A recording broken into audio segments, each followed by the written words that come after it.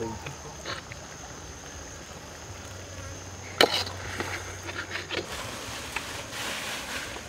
nó mới còn mấy trận lùng có mùi mùi